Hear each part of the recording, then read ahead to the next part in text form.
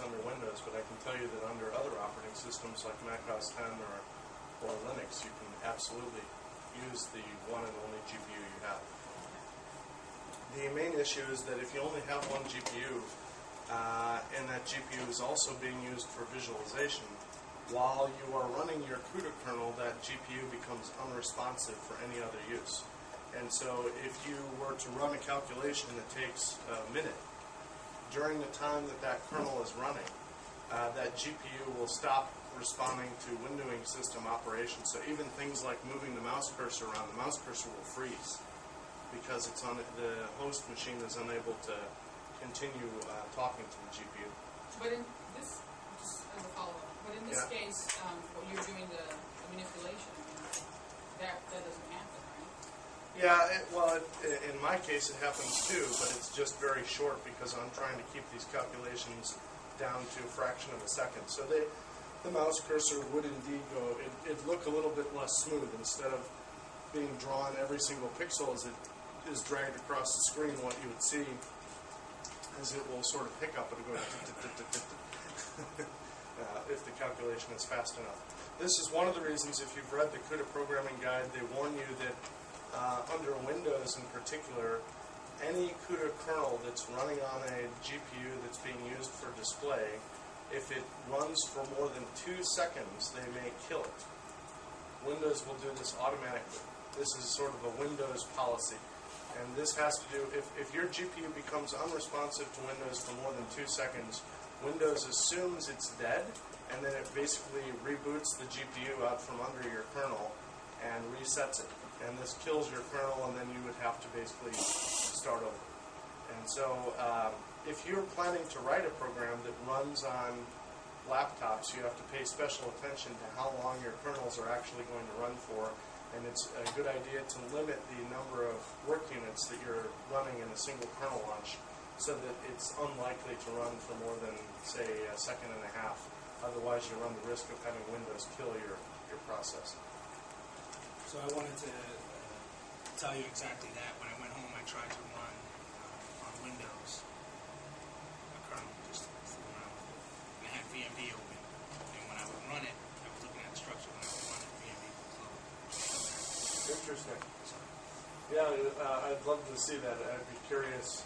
Uh, well, uh, I will say this: if, if uh, Windows kills your CUDA context, it will kill all of mine too, probably. You know, because that's what they do. They take a very scorched earth policy. If that GPU becomes unresponsive, they just kill it completely. They uh, basically nullify all of the active processes that are attached to it, and they restart the driver effectively while the machine is running. And so anything that was running basically gets you know, eradicated. So Back to the algorithm. Yeah.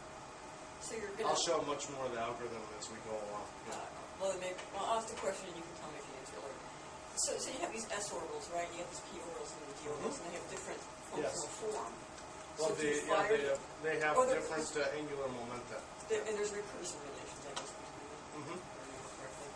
Did you do all the S's like in a thread block and then? No, we do. I'll show you. You'll Okay. see. So we we have a loop basically that processes all the different orbital uh, components within one thread. So each thread does all of its own work, and I'll show you how we do that. Okay. So uh, to distribute the work dynamically among all of the GPUs, we in VMD I have a set of routines for managing this pool of worker threads, and they have a, a shared counter basically uh, that's protected by mutex locks. And so what happens is each of the workers calls a routine, in this case called uh, thread pool next tile, and what that does is it, it fetches a tile that has a beginning and end, like a start and an end index of work units. It's very similar in principle to the uh, thread indices that you have in CUDA. So I describe the work as a, a range of indices, and then all the workers know what that means by virtue of various parameters I give them.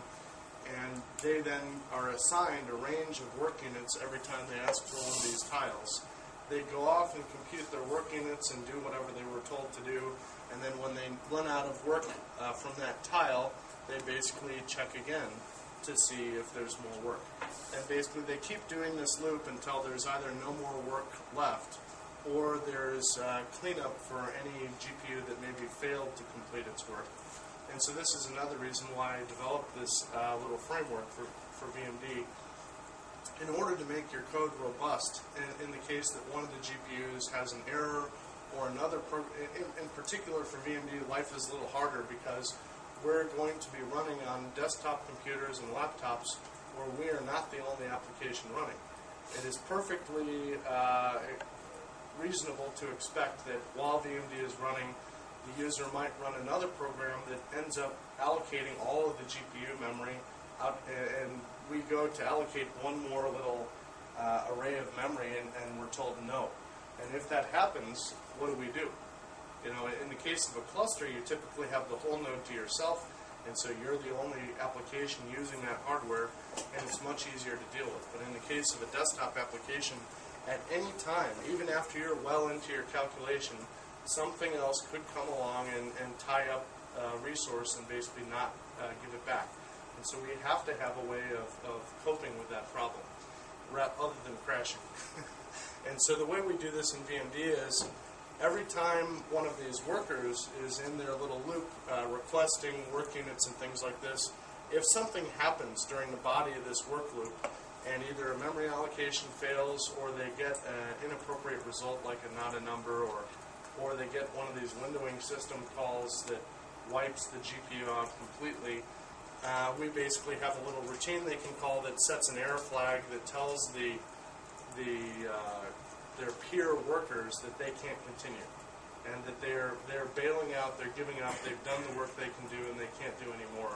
And when that happens, then that failed work units uh, basically get put on a little queue or stack, and then their peers will, when they've finished all of the main work that they were assigned to do, the last thing they do before they clean up is they basically go and see if there's any other work units that are left from their peers that may have been failed work units or something like that, and they basically retry those. And if still those work units can't be done, let's say that there is, for some reason, I, I have some work unit that is requires some hardware feature, and none of the GPUs in that machine have that hardware feature, then I can have that one work unit percolate its way through all the, you know, all the GPUs will give it a shot and try to do it. And if none of them can do it, then it, it remains at the very end of the calculation, and the host can look at that last work unit that didn't get done and say, well, what's up with this? And it could uh, then pursue doing a cleanup routine for itself. So that gives us also a sort of a, a more elegant way of dealing with exceptional cases where I can write the code in a sort of consistent way regardless what calculation we're actually trying to do. And it can make its way through being attempted by all the GPUs. If they can't do it, then it falls back to the host, and the host can finally clean that up. So um, I was giving you an example of um, the, the times involved in waking up different threads. So these are timings in microseconds. You probably can't read this from way back in the back, but it's on the USB key.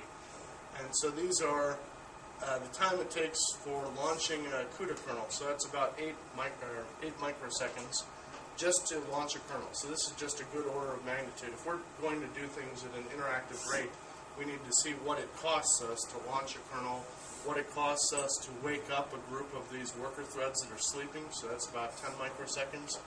Uh, if we actually go wake up a, a, pool of those worker threads, launch a kernel, and, or, and, and then go back to sleep again uh, without doing any real work, that's 20 microseconds.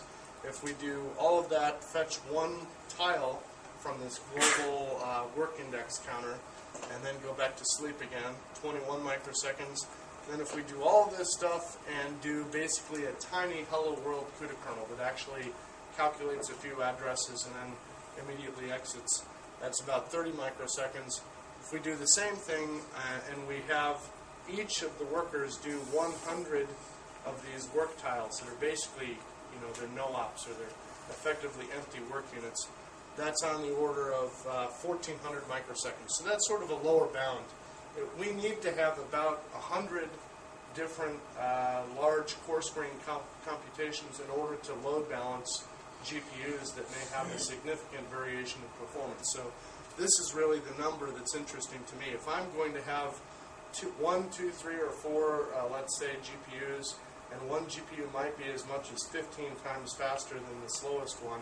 If I want to achieve a reasonable load balance, I have to have at least 100 work units to distribute to them for those ratios to work out with that dynamic load balancer. And so that means that I have the overhead for doing all that's about one and a half milliseconds. That's well fast enough. That that's pretty good. I mean, it, it could be better, but that's good enough that if I had very simple kernels to, to do, I could do them at a rate of uh, you know about six or eight hundred of them a second. So that's pretty good. Does that include time to return to VMD? Yes, that's all the time to all the round trip all the way back, including all the memory copies and everything. So that's sort of I did all these tests basically to determine well how fast could I ever get? It will never be faster than this. This is doing like I say, sort of a very very simple CUDA kernel. I will never have anything that's this fast. So anything I, I can do, the fastest I can compute these things across a pool of GPUs of up to up to four is about 700 of them or so a second, something on that order.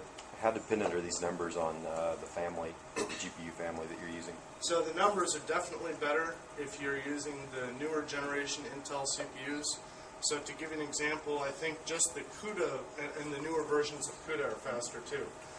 so I did all these timings and I emailed them to NVIDIA and I said 8 microseconds seems like a long time for a kernel that does no work.